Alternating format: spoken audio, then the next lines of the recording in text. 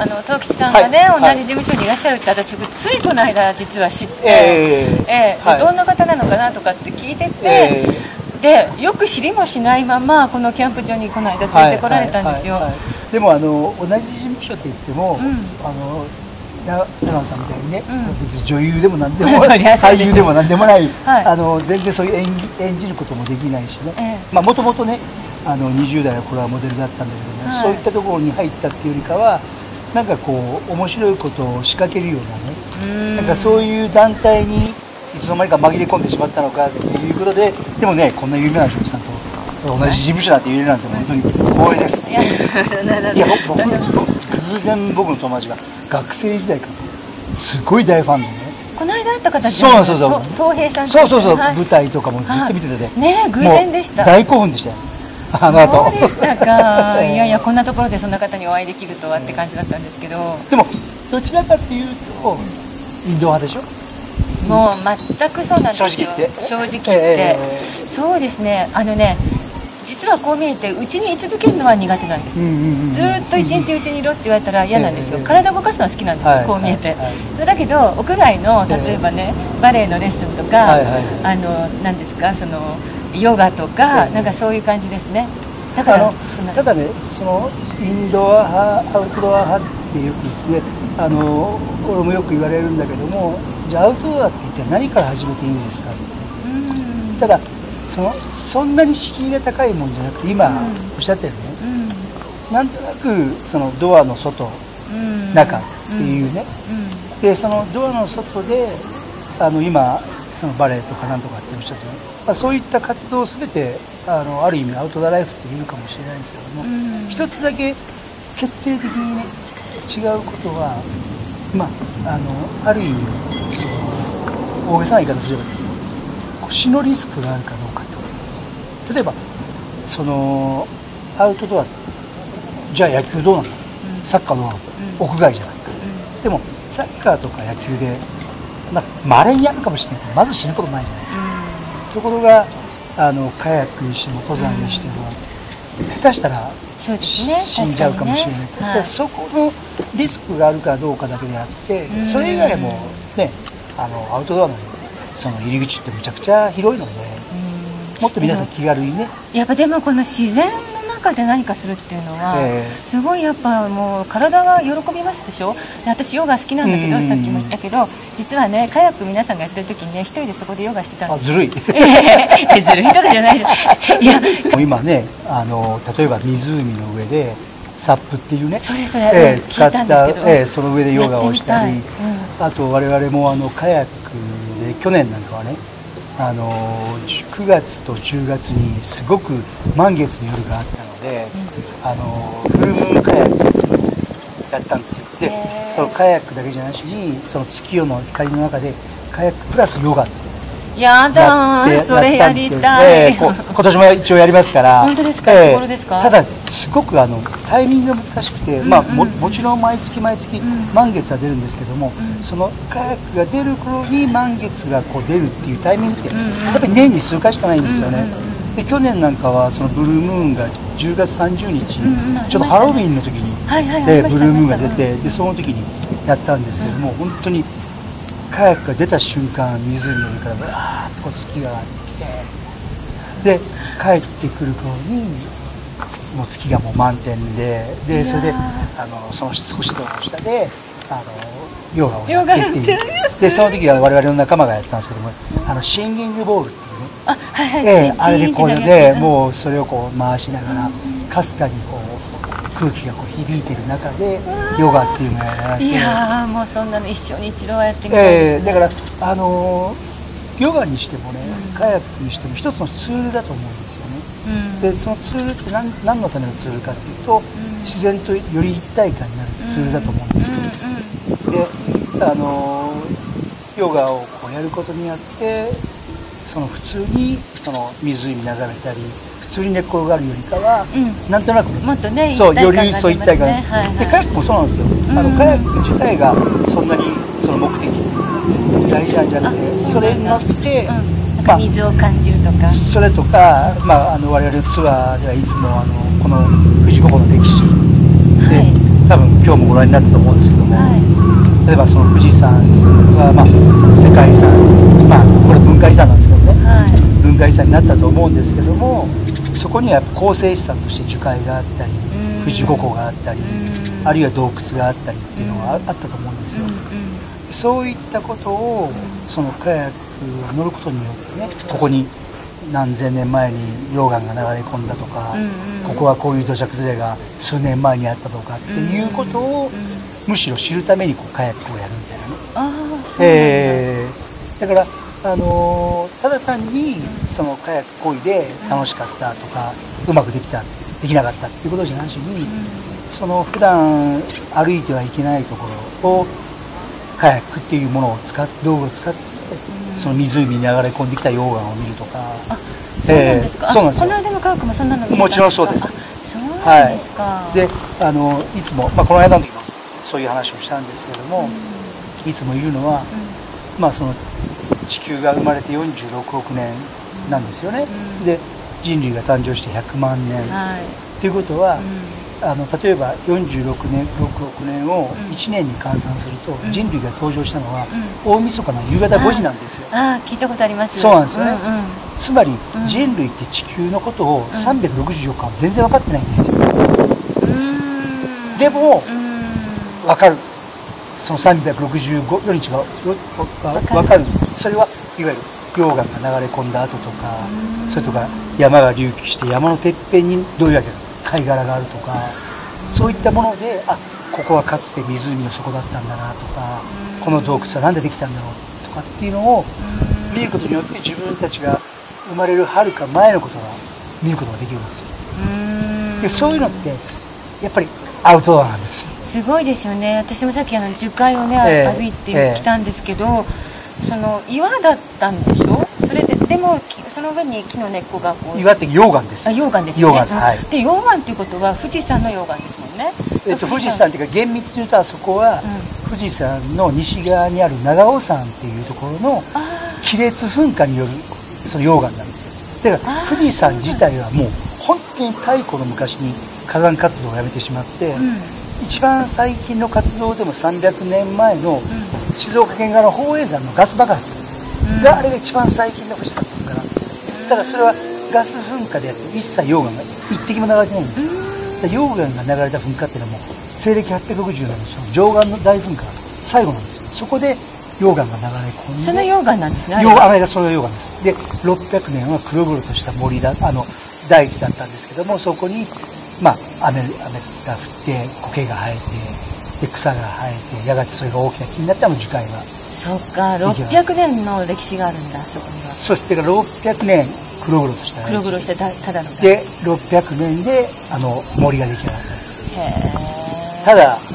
下溶岩じゃない。ですかだから木の根っこが入り込もってできないんです。はい。だからもう地上にね。そうなんですよ。もうこのおじいさんの手の甲みたいに結果みたいにすごかったです、えでそこにまたあのねあの木のガクズみたいなのが、ーそうなんですよね。ね、上に乗え。っかり、木が木の葉っぱが乗っかり、えーちょっとなんか土みたいに見えますけどあれは違うんですそうですよね。でさらに言えばその下で細かい穴によって、その西湖と庄司湖と本栖湖ってつながってる。んですだからあのいわゆる溶岩ですから非常に空気の、は空気口が多いんですよ、はいはいはい。石と違って、はいだからそこを通じて水がずっと行きてああの下あの下水なの？はいあの下が水って書いうじゃないです。その溶岩を構成するともうそれもの自体が水を含んでる。降雪そのもの自体が水を含んでいる。そう。そしてそれがだから例えば西湖の通常のですよ、うん。通常の湖面標高は海抜900メートルなんですよ。はいで例えば梅雨と長い梅雨とかあるいは、えー台風とかで湖面が901メートルなんですよ。そうすると西湖あ元栖湖も庄司湖も同じように901メートルなんです。全部今でも3つの湖が浸透してるんです。だから同じように水が増えて減ってこれは一瞬じゃないですけども例えば1週間の雨とか10日の雨とかなんとかすると完璧に山から降りてきた水が増えて3つの湖がずっとシンクロしてる。でそのシンクロしている湖をその3つの3つの湖をつないでいるのが青木ヶ原樹海なんです。か生きてるんですね。そうなんです。よ我々がよく動かなくなった人間のことを植物人間です。あの植物人間ということはすごく植物に対して失礼なんです。よ植物も確実に動いてる。ただスピードが人間とか動物と違うだけであって動いてるん。ですそれをもって言えばもうあの樹海も水もいまだにずっと生きてるつながってだからなん。かそういうその歩くでもいいしカヤックでもいいし特になん。かこうなん。とかスポーツアウトドアスポーツとかしなくてもそういうところに一歩行けばそういうのが感じられるなん。か感じましたそういえば感じてください 何か感じました？でもねなな全くその言葉にできなくてなんだろうなってこのなんかなんていうんですかねこう、うん、いい感じとかそういうことじゃなくてなんかこう神秘的ななんかものがね、えー、ゾワゾワするっていうか。あのやっぱりね、うん、そのまあ、富士山ももちろんそうなんですけどもあのある意味、まあ、日本語で言うパワースポット、まあ、英語で言うボルテックスポイントそういったところがやっぱありますよねありますね、えー、太古から、まあ、そういうね、うん、あの地球のそういう動きっていうかそういったものを凝縮したみたいなね、そういう自然が広がってるんで、やっぱり感じます。感じますね、えーであのいわゆる地球を取り巻いてる地殻ってあるじゃないですか、はい。まあ、地球の表面の核ですよ、はい。はい、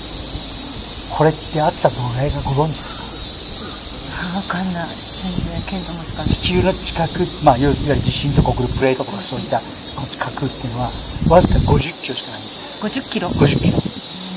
50キロってすごいって思うかもしれないですけども例えばじゃあエベレストって8キロ9キロじゃないですか。高さ9000メートルです。8000メートル、ね、8000も9000メートル近くに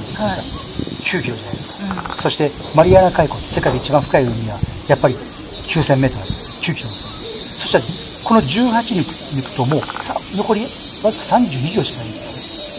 よね。そう考えると我々ってまるでもう本当にあの温泉卵の上の、上に巨大なビルを建てたりして住んでるようなもん。ですそれは地震なんか起こったら大変なことになりますそうですね。だからそういった状況がその例えば高層ビルとかもう確固たる強固なビルとか建物を見ると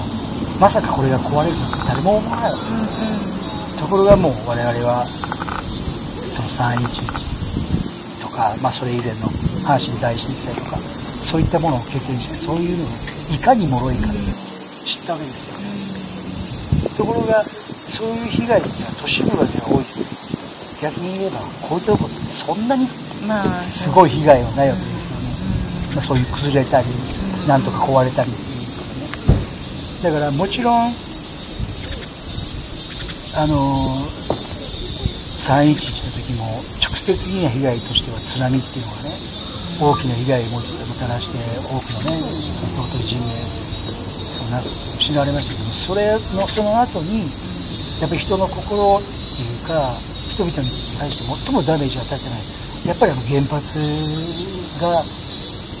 破壊されてその放射能これも一つの町がもう全てだったわけですからだからもしもその原子力がなければもしもそういう大掛かりな人間の作ったものがなければあの被害もそんなにねもちろん津波は大きな被害でしたけどもそんなじゃなかったのかなっていうこともあるんですよね。うんそうですねだからまあ確かにその原子力ってすごい便利だと思うんですよね。はい、今はもう特にね脱炭素って言われていわゆるそういう石油とかね石炭とかそういったものから脱却しようソーラーを使おうねまあ原子力を一部使おうっていう話もあると思うんですけどもあんまり便利さを追求してしまうとそのしっぺ返しが今ねあのたまたまこの間作ったわらあち入っていただいてるんですけど、あのこれもね、はい、ランニングできるサンダルとしてまあ、はい、ちょっとマニアックですけども一部の人たちはね、はい、使ってるんですけどもやっぱり靴もねあまりにもハイテクになってここにスポンジ入れようここにエア入れようここにジェル入れようこうなやどんどんどんどん進化していくのはいいけども人間それに耐えすぎちゃうと今度違う故障が出てきてそうですね。やっぱり進化っていうかもしかしたら対価かもしれなくて、まさにそうですよね、えーなんかほら資本主義っていうか、まあ、そう言い出すともうキリがないですけどもね、ええ。原子力のこともそうですけど人間が何ですかねこう地球だとか自然とか支配しようとして進化してるつもりがなんて滅ぼしては自分自身たちをね滅ぼしてることになってるかなって私もすごくそう思います。ただね、あのーさっきじゃあ人類が大晦日夕方の5時に出現したって言いましたよね、そしてそれから夕方の5時から、えー、と大体、えー夜の11時58分59分ぐらいまで人類は地球と仲良くやってたんですよ。ところがまあ300年近く前のイギリスの産業革命以来、はい。動力っていうのが、いモータリゼーションっていうのができて、そこからもう一気に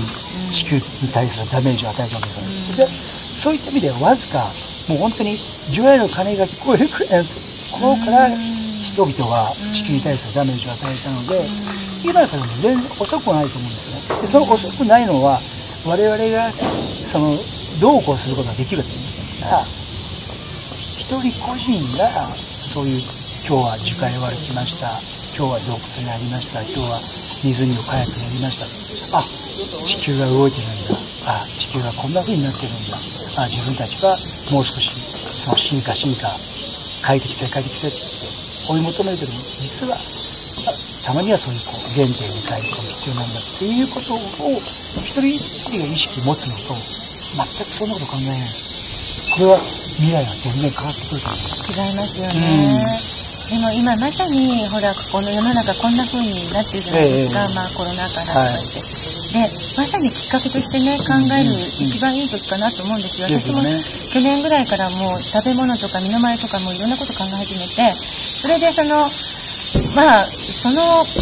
なんていうんですか一つのこの出発点なのかゴールなのかわかんないけど、ええ。まあ、キャンプであったと思ってはいはいはいはいますだからこれからもっとねあのええ食べ物のこととか、食のこととか、えフードロスのこととか、は農薬のこととか、ええもっといっぱい知りたいと思って、ええそれでこのチャンネル始まったんですよ。それは素晴らしいですね。あの、本当に我々、まあ、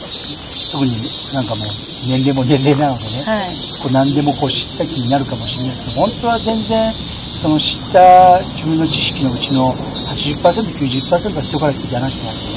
自分自身が本当に実践してるから、結構疑わしいところもあるんですよ。うんうんで今おっしゃったように、本当のところは一体どうなのかみたいなことをね、強い興味持たれて、いろいろ発信されてる。でしかも、あの、今までそれほどアウトドアに、まあ、縁がなかったっていうかね、まあ、そういう方じゃない。で、で、それで今、なおかつ、著名な方に、あの、そう発信していただけると我々としては非常に強い方なので、あの、これから楽しみにしてます。いや、これからちょくちょくお話聞かせてください。いえいえもうカヤックももちろんやりたいし。ぜひやりましょう、今度は。はい。ええで、カヤックプラスヨガ？あ、そうね。あ、例の、うんスキーをね、ことねうんうん、ぜひやりましょう。もうぜひお願いします。楽しみにしてますあありがとうございました。素晴らしい。